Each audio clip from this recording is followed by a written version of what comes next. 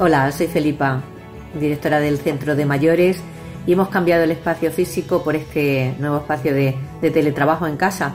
Seguimos estando en contacto con, los mayores, les mando un beso enorme, eh, por supuesto, a todos y, en especial a aquellas personas que han perdido a sus seres queridos. Sentimos mucho esta situación y el fallecimiento de, de todos.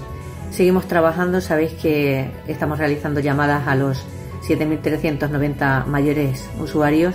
Os pido paciencia si no habéis recibido la llamada, queremos saber cómo os encontráis y es el único medio que, que hemos pensado que sería más cercano.